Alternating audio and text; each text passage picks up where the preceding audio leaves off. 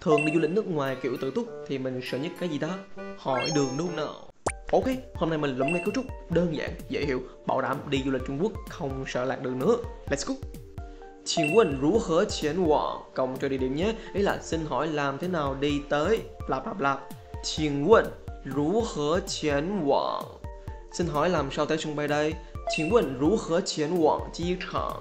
请问如何前往机场 xin hỏi làm sao tới trạm xe bus 请问如何前往公交站请问如何前往公交站 xin hỏi làm sao đi tới khách sạn ABC 请问如何前往 ABC 酒店？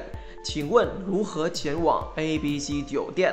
Cấu trúc thứ hai, 请问附近有没有 bla bla bla, ý là xin hỏi gần đây có cái gì đó không? 请问附近 有没有 bla bla bla. Xin hỏi gần đây có bệnh viện không? 请问附近有没有医院？请问附近有没有医院？Xin hỏi gần đây có nhà hàng gì không? 请问附近有没有餐厅？请问附近有没有餐厅？Xin hỏi gần đây có nhà vệ sinh công cộng không? 请问附近有没有公共厕所？请问附近有没有公共厕所？Hiểu chứ? Đừng quên follow mình nha. 再见。